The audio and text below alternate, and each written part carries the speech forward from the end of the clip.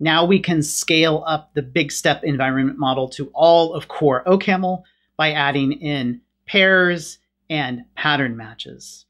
Notice that our values now contain function closures, which themselves contain environments.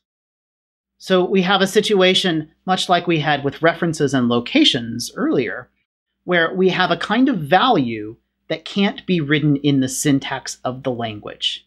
So this is another example of how sometimes not all values are themselves expressions.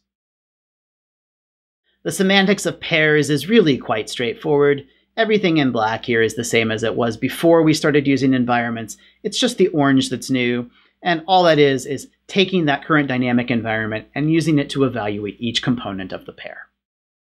The same for first and the same for second.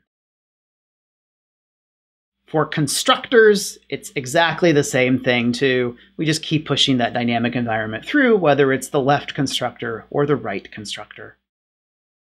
And for pattern matching, it's almost exactly the same as before, except for that now when we get to evaluating a branch and the, an expression either E1 or E2, we do actually extend the dynamic environment to map the pattern variable to the value of the expression being matched.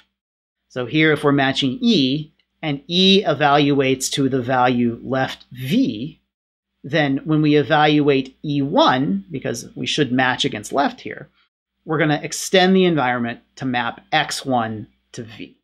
And it would be the same symmetrically if we were evaluating a right pattern.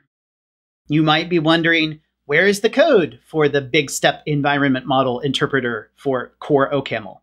Well, the answer is you will write it.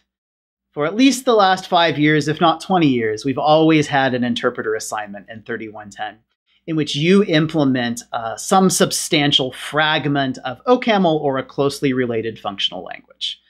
I expect the same will be true this year.